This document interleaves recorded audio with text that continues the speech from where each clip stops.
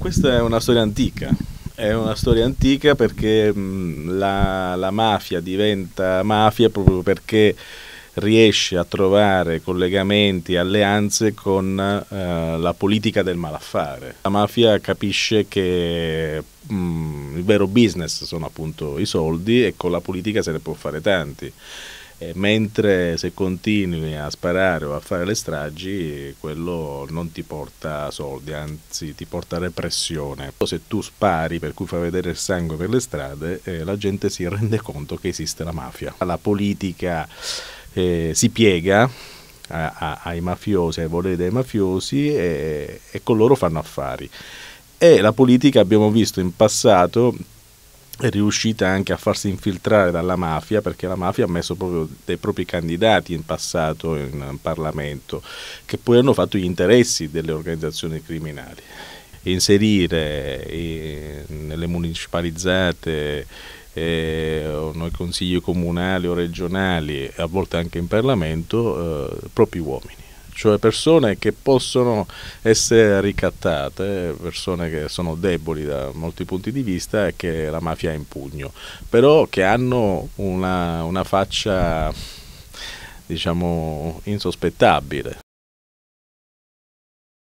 Le inchieste su Ndrangheta e Cosa Nostra, sia del passato che del presente, ci dimostrano il fatto che eh, alcuni eh, personaggi legati al mondo della criminalità organizzata eh, facevano parte di logge massoniche perché erano il punto di contatto fra queste due realtà, mafia e massoneria che purtroppo c'è stata e ci continua ad essere perché hanno a volte interessi comuni. Una rilevanza importante quella che l'azione sta facendo la Commissione antimafia che ci porterà a vedere bene dentro le logge eh, le persone che ci sono. Eh, e queste come sono collegate alle mafie. I giornali non fanno i processi, i giornali raccontano e riportano notizie vere e documentate. In un giornale come tutte le redazioni sono le notizie quelle che comandano. La notizia è la regina di una, di una redazione, è la padrona di un giornale e, e ai nostri lettori e ai nostri ascoltatori noi diamo notizie, notizie vere, confermate, eh, notizie che sono basate su riscontri e documenti, si fa l'esame delle attività parlamentari di, di, ogni singolo deputato che si sospettava fosse stato mh, mm, candidato dalle mafie e, e, e lì lo si può raccontare, cosa che non può fare la magistratura perché l'attività parlamentare diciamo, non può essere sindacabile eh, comunque dalla, dalla, magistratura, ogni parlamentare è libero di fare quello che vuole, per cui la, la magistratura non li può perseguire perché hanno presentato o meno un disegno di legge.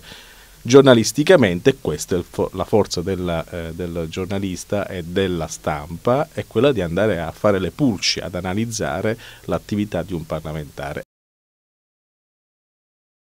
Quella che noi abbiamo dato su Ilaria Capua nel, ricordo se 2014 eh, è una notizia super vera, eclatante, documentatissima.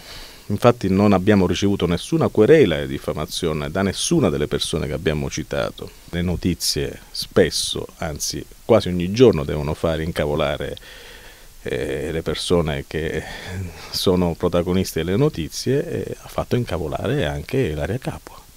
Ma non è colpa dell'Espresso se l'area Capua è stata indagata all'epoca per associazione per delinquere con questa pesante accusa eh, di essere insieme ad altri accusati di traffico di virus la procura ha dovuto in qualche modo prendere delle decisioni, se chiudere o meno un'indagine, poi è stata chiusa e naturalmente molti di quei reati sono stati prescritti, altri per fortuna, è bene eh, diciamo che la giustizia prevalga, è stata assolta, prosciolta la capo, benissimo, ma i giornali non fanno i processi. I giornali raccontano e riportano notizie. Mi dispiace che si è dimessa, ma non l'ha fatta dimettere l'Espresso, l'hanno fatta dimettere i suoi colleghi parlamentari che hanno votato le sue dimissioni.